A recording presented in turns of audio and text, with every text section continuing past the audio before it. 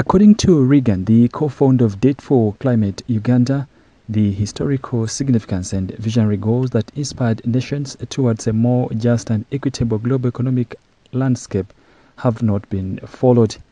The like-minded youth and climate enthusiasts are also urging G77 plus China to prioritize transparency in decision making. I believe uh, we need the money, but one thing that we must look at is the systems have been created in a way that we must always go and borrow. And we cannot do away with borrowing. So we have to go and borrow and borrow and borrow and borrow every time. So that is how the international system has been created and doesn't give us a gap for us maybe to depend on ourselves and also maybe to... Cynthia Kemigisa, the head of communication at the Uganda Council of Foreign Relations, stresses the need for clear information to ensure understanding and support from the broader community. The debate for climate global south position and policy statement to the G77 chair encompasses several critical points. Empowering youth is an investment.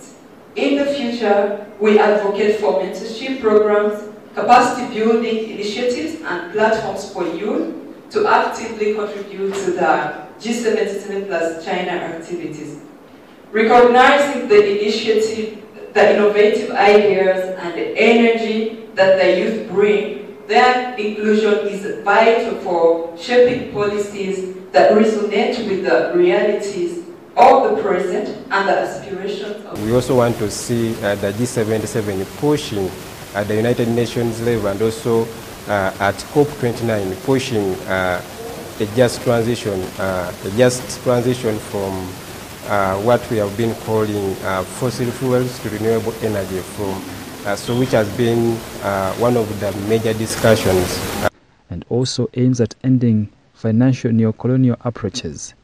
The youth call for G77 unity against financial neo-colonial approaches by America and European countries.